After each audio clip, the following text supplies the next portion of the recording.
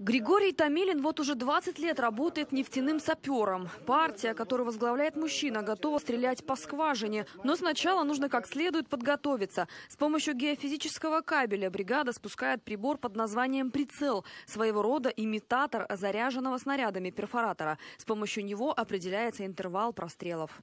На данное время у нас сейчас производится э, задача 58, м, взрывные работы или, попросту говоря, перфорация на кабеле. Без привязки, без исторической записи мы точную глубину не сможем установить, только по спуску просто прибора.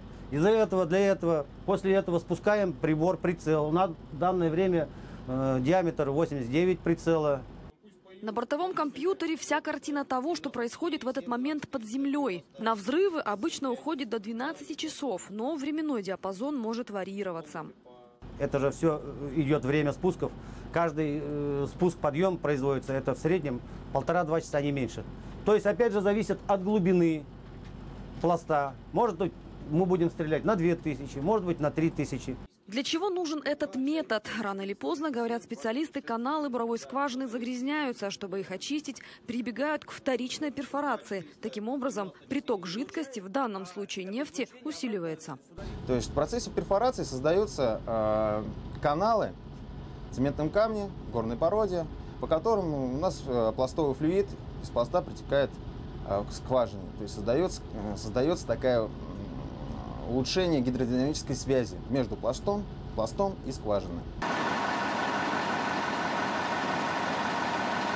А вот тот самый заряженный автомобиль. В нем находится кумулятивный перфоратор с глубоко проникающими зарядами. Работы пройдут на глубине 2600 метров. Всего запланированы три спускоподъемные операции. На данный момент, значит, мы спускаем перфоратор кумулятивный, корпусной. Он срабатывает, работает, и э, все заряды, которые м, срабатывают, они остаются в скважине. Мы поднимаем практически пустой заряд. После того, как прицел снова оказывается на поверхности, заказчик сопоставляет нынешнее состояние нефтяной артерии с историческим материалом и дает разрешение на взрывы. Перфорация на данной скважине завершена успешно. Как она себя чувствует после процедуры, покажет уровень нефтеотдачи. До конца года на территории дружного месторождения прострелочно-взрывные работы планируют провести еще порядка 15 раз. Юлиана Сотник, Михаил Суханов. Специально для новостей.